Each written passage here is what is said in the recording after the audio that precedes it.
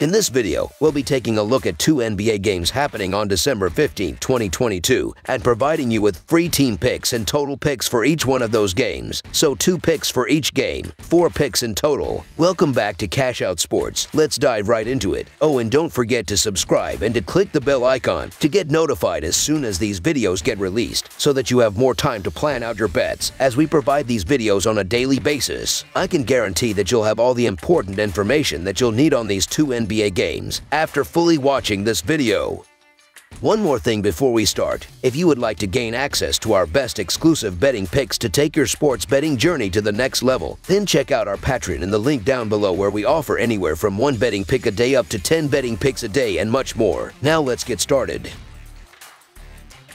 New Orleans Pelicans versus Utah Jazz. This Thursday, the New Orleans Pelicans will travel to Salt Lake City to take on the Utah Jazz. Tip-off will be inside the Vivint Arena. This will be the second time that these two teams have matched up this week, as the Jazz blew out the Pelicans 121-100 on Tuesday night. The New Orleans Pelicans are coming into this one after falling to the Jazz. They were horrible on both ends of the court, as they will have to show up on the defensive end if they want to challenge the Jazz on the road. The Utah Jazz is entering this matchup after dominating the Pelicans. They looked incredible on the offensive end of the court as they shot 47.6% from the floor. Utah will have to stay hot in this one if they want to knock out the Pelicans in back-to-back -back games. The New Orleans Pelicans have been in great shape as they've won 9 of their last 11 games, but they will be hoping to bounce back in this one after getting thrashed by the Jazz in a 121-100 road loss on Tuesday. Zion Williamson led the way with 26 points, 9 rebounds, and 5 assists on 10 of 16 shooting. Jonas Valanciunas added 15 points, while CJ McCollum chipped in with 14 points. As a team, the Pelicans shot just 39% from the field and a miserly 4 of 27 from the three-point line as they got off to a slow start and scored just 15 points in the second quarter before they allowed 39 points in the third quarter to fall behind by as many as 27 points. Meanwhile, the Utah Jazz have been in decent shape as they've won four of their past seven games, and they will be eager to stay hot after blowing past the Pelicans on Tuesday. Malik Beasley led the way with 21 points off the bench. Lauri Markkanen and Nickeil Alexander Walker each scored 19 points, while Jarred Vanderbilt chipped in with 18 points, 14 rebounds, and 6 assists. As a team, the Jazz shot 47% from the field and 15 of 47 from the three-point line as they dominated the second quarter and held the Pelicans to just 15 points to take the early lead before they let loose with 39 points in the third quarter to put the game to bed early. Looking at the betting trends, the Pelicans are 4-0 against the spread in their last four games against a team with a winning record and 5-2 against the spread in their last seven games overall. The Jazz are 5-2 against the spread in their last seven games against a team with a winning record and 7-0 against the spread in their last seven games against a team above .600.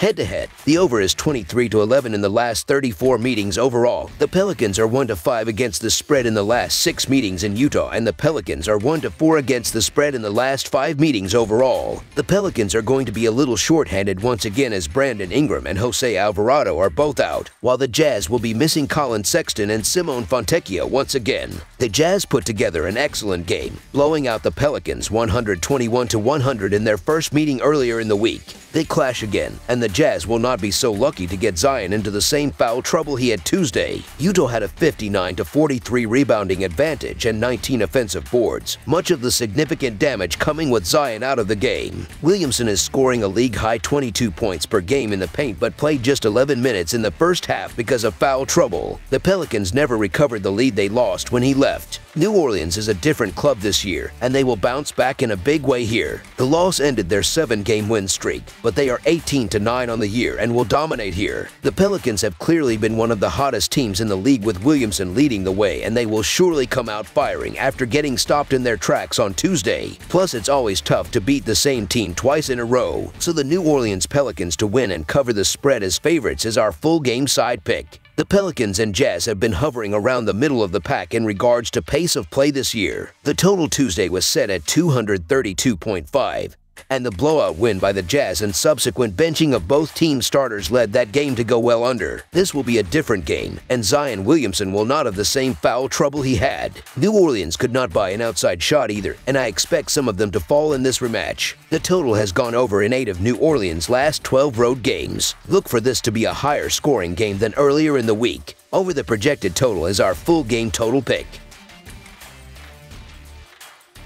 Phoenix Suns versus Los Angeles Clippers. The Phoenix Suns and Los Angeles Clippers meet Thursday in NBA action at the Crypto.com Arena. The Phoenix Suns have lost five straight games. The Los Angeles Clippers have split their last 12 games. The Phoenix Suns have been in a real slump as they've lost six of their last seven games, and they will be hoping to put a halt to a five-game slide after getting routed by the Rockets in a 111-97 road loss on Tuesday. Mikal Bridges led the way with 18 points. Chris Paul added 16 points with seven assists assists while Landry Shamet chipped in with 13 points. As a team, the Suns shot a horrid 32% from the field and 13 of 51 from the three-point line as they struggled to find their offense and were never in the contest after managing just 35 points in a nightmare of a first half. Bridges had a night to forget as he shot just 4 of 24 from the field, while Torrey Craig and Damion Lee each shot just 2 of 9 from the field. Meanwhile, the Los Angeles Clippers have been on a nice run as they've won 4 of their past 6 games, and they will be aiming for a fourth straight victory after routing the short-handed Timberwolves in a 99-88 win last night. Kawhi Leonard led the way with 19 points and 8 rebounds. Paul George tallied a triple-double of 17 points with 11 rebounds and 11 assists, while Luke Kennard chipped in with 16 points off the bench. As a team, the Clippers shot just 38% from the field and 14 of 46 from the three-point line as they struggled to get going and managed just 38 points in the first half, but they didn't panic and came back strong with 61 points in the second half to make it look easy in the end. Defensively, the Clippers did a great job of forcing the Timberwolves into 17 turnovers while restricting them to just 4 of 22 from the three-point line.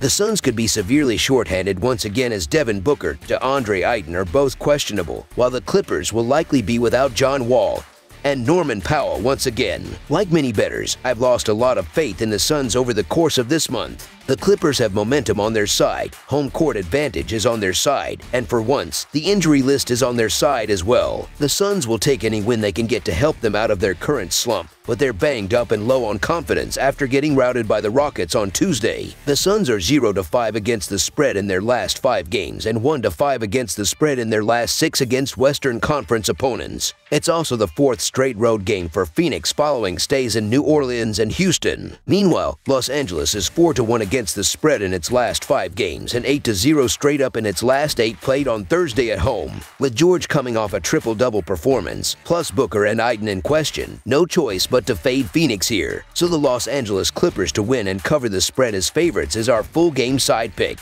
Since Phoenix's stars are banged up, whether they play or not, I'm going with the under knowing only one team in the league scores less points per game than the Clippers. Both units rank below average in pace, and as I mentioned, Los Angeles remains a top 5 defense across the NBA. This series has a strong history of unders, too. Six of the last seven games where the Clippers host have fallen short of the total. Los Angeles has also finished under the total in both their last five games at home and their last five games against Phoenix overall. Under the projected total is our full full game total pick.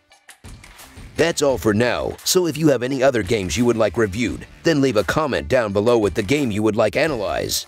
Subscribe to our channel, leave a like on this video, and we'll get to it as soon as we possibly can. We would also love to hear your opinion on the picks presented to you in this video, whether you agree or disagree with them, so leave a comment down below and do let us know.